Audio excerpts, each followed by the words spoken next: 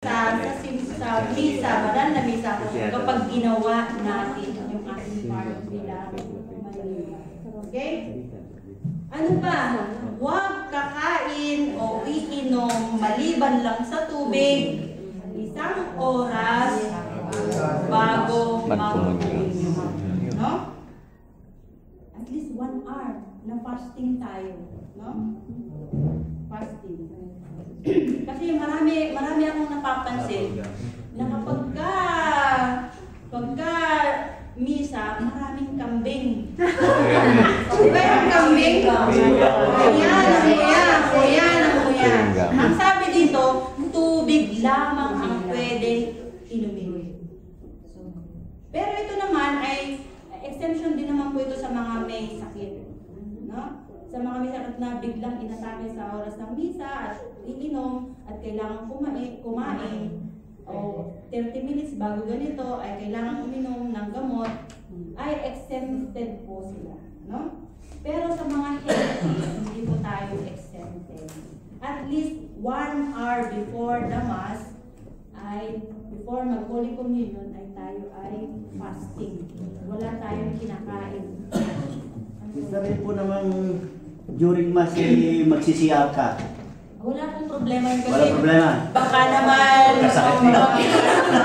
baka naman Bakit ka sa- pagbubunutin pa natin si Father doon eh Eh, yung mga natural ano lang ating wala po tayong kasalanan doon ano at halimbawa po ay talagang ah, hindi na po natin kaya at nag nagkumunyon po tayo no nagkumunyon ay biglang hindi nakapagkumunyon kasi may emergency na tinawag ka sa kaharian Pwede po kayong magsabi sa mother, sa father, mother, meron po ganito po, para makapag-commune. Ah, Ha?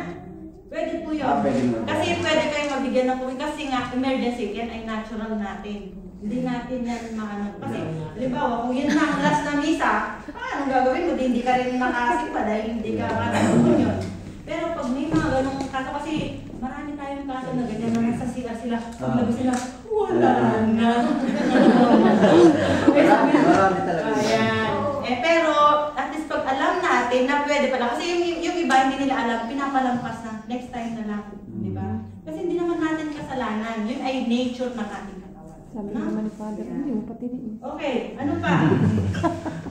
At least sabi to, dito, walang mabigat na kasalanan. Naituwa na po ba sa inyo yung sampung utos ng Diyos?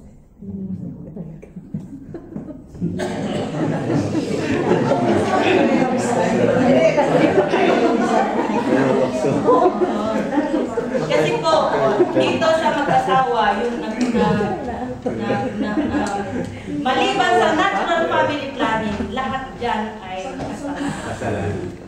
No? Kondom, withdrawal, uh, depo, ano?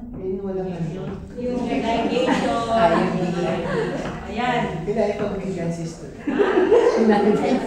Kasi withdrawal, kasalanan. Withdrawal. Oh, kasalanan. Ako po, ang profession po Oo, sa Kaya na. meron po kami, meron po kami ano, artificial natural family planning. Kaya alam ko po yun. No? Mahirap pa yun. Hindi po limit sa akin yan. Pero nung ako nag-bad rin, yung artificial, meron pala natural. At yun yung, yun yung tinuturo ng simba. Kasalanan naman. At yun lang pala withdrawal, kasalanan. sa- Hindi ako magbuntis na magbuntis. Alimang contraceptive. Kaya kontra. Kontra sa buhay. Ay mabigay ng sinasabi kasi baka maalala niyo yung sinabi ni Sister Lorna na sinabi ni San Ambrosio na kapag ikaw ay may mabigat na kasalanan, pag tinanggap mo si Kristo, ito ay kahatulan mo na sa kamatayan mo, sa buhay na walang hanggang pagdurusa. Ibig sabihin sa impyerno. Alam niyo po, kaya nga gustong gusto ko yung mga mga santo nung una, sina, sina Saint John Maria Bini, sina yung mga talagang dakilang preachers. Alam niyo kung bakit? Dalawa lang yung kanilang pinipreach. Langit at impyerno, langit at impyerno. Kaya ngayon po wala nang nagtuturo ng langit at impyerno kaya nang wala nang wala nang sense of sin sa panahon ito, no? Para pahapyaw na lang. Lahat na lang kahit na mali ginagawa, tama. Wala nang sense of sin. So yun po ano? Ma- ano pa po yung mga mabigat na kasalanan? Halimbawa yung mga may bisyo. Yan ay under fifth commandments pa lang yan. May bisyo. Halimbawa yung ating pagpapabaya sa ating katawan, nagpupuyat. Sobrang busog. Sobrang busog. Yeah. Sala sa Yan po ay hindi pagpapasalanan sa Bakit na tingin ka kay ma'am? bakit ang ikalimang utos ang, ang, ang itinuturo ng ikalimang utos ay ang buhay ay ma- mahalaga. So hindi lang sa pagkikit ng buhay o hindi lang sa pagpatay, kundi kung paano natin iingatan ang buhay mo at buhay ng iba. Kaya yung sa contraceptives, kasama siya sa ikalimang utos ng Diyos. No? Um, kaya yung mga naninigarilyo, yung mga nagpapabaya, di ba? Yung kaya may ulcer kasi hindi nagbabaon ng panino para lang ganon, di ba? Kasi kapabayaan natin sa ibinigay ng Diyos sa atin, no? Kapag mahal mo ang iyong buhay na ibinigay ng Diyos, kahit nasala sa iyong trabaho, di ba? Gagawa ka ng mga maraan para ikaw ay kumain, para hindi ka magka-ulcer, no? At ngayon, pag makita mo na ang kahalagahan pala ay, halimbawa po yung, sabihin mo sa akin kung sumobra na ako. yung, kapag ka po nakita po natin na, halimbawa eh, hindi na sapat yung ating pagtulog, huwag po kayong, ang pangarapin po na magkaroon ng, ng, maalala niyo po yung sinasabi ko na, depende sa dami at alab ng tinanggap nating. Hindi po depende, depende sa dami ng inyong part-time at madaming euro. No?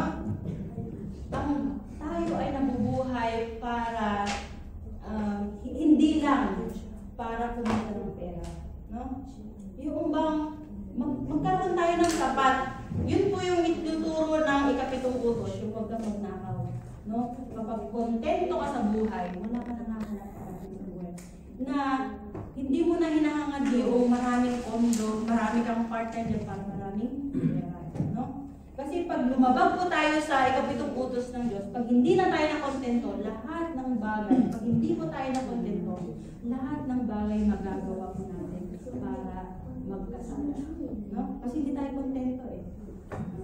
Pero pagka kontento tayo, kahit anong ah, kahit anong temptation nandyan, kasi kontento ka eh. Halimbawa, hindi tayo ma majajaryo, hindi tayo makukuha ng CCTV na na- nagnanakaw. diba?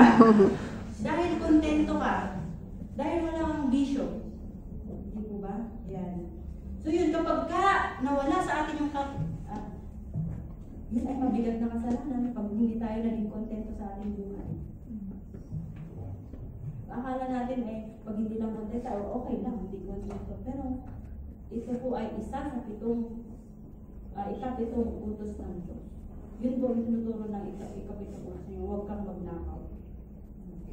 Maging kontento ka. Kasi kapag kontento ka, hindi ka magnanakaw, hindi ka hindi hindi mo gagawin yung magsinungaling, hindi mo gagawin yung ibang kasi po pag nagkasala po tayo, ah, parang chain yan, dugtong-dugtong, no? Akala natin yung discontent, o hindi ka kontento, akala natin ganun lang. Pero ang dami na po niyang nakukuha mga mga ano po, nadadamay na mga iba pang magawain na it will lead us to sin. Okay. At sabi natin, yung magsuot ng disente, kaya nga dapat, sabi ko nga, kapag Sunday, ang ibibigay natin Sunday, the Sunday best. Hindi lang yung Sunday dress kasi dito hindi pwede kasi nga ay malamig. At least yung Sunday best mo. Kahit man hindi pang pang babaeng suot, at least yung the best. Kasi the best yung iyong inimin. Diba? Yan. So, yun po yung mga mahalagang